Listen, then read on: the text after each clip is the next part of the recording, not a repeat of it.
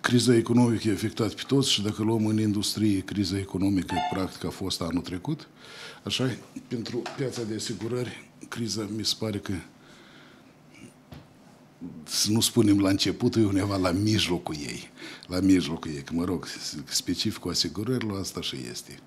Asta și este. Dar, mă rog, cu, în principiu, piața se dezvoltă, societățile de asigurări lucrează, majorarea capitalului social practic la cele peste 20 ceva de societăți de asigurări care este, practic l-au majorat.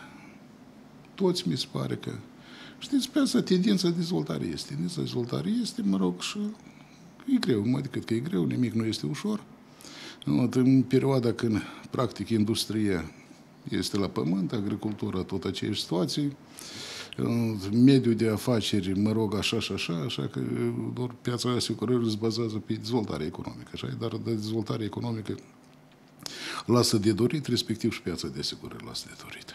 Portofoliul, dacă luăm așa să, să examinăm care este situația la moment a portofoliului societăților de asigurări, știți, mestre, mă rog, lasă de dorit pentru că sunt, nu spunem că multe, dar sunt careva societăți de asigurări, eu nu înțeleg Poate eu ceva nu înțeleg care, care e situația, știți, dar portofoliul în societate de asigurări, dacă depășește 90% riscurile auto, așa să are vedere casco, răspundere civilă, a deținătorul transport.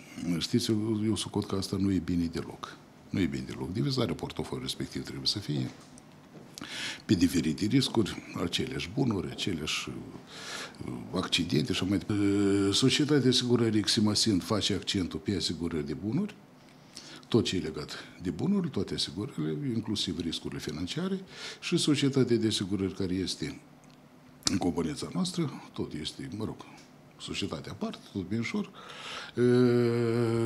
Sperăm să îndreptăm spre asigurările de sănătate.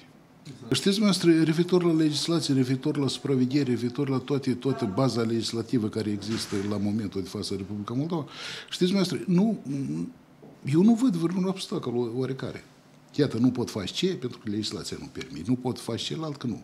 Legislația nu permite. Nu, legislația este destul de bună, este concordată destul de bine la cerințele, este, mă rog, nu, nu este nimic care ne-ar încurca. În afară de, dacă luăm asigurări de viață de lungă durată, eu vedere asigurări de viață cu acumulare, aici este, este o, așa o divergență, pentru că, conform legislației despre asigurări, este prevăzut că prima de asigurare se încasează în valuta în care a fost achit contractul de asigurare. Așa. Conform normelor bancare, este prevăzut că toate operațiunile pe teritoriul Republicii Moldova se efectuează numai și numai în valută națională, adică în lei Republicii Moldova.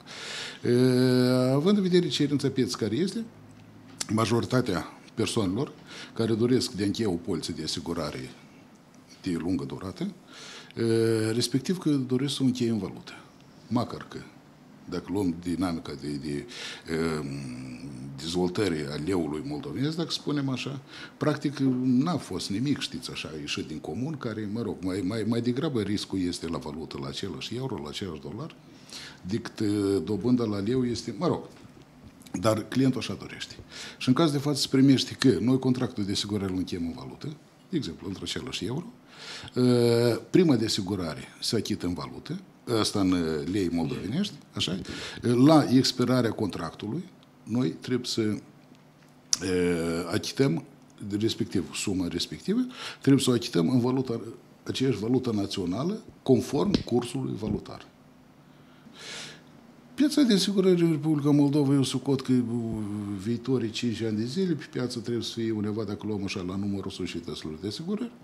Eu cred că ar fi în jur de 8-10 societăți de asigurări de bunuri, undeva 3-4 societăți de asigurări de viață, Cred că asta ar, asta ar fi, dacă luăm la numărul societăților de asigurări. Că la momentul de față, practic, dominează asigurările auto, cel mai mult. Cel mai mult asigurările auto.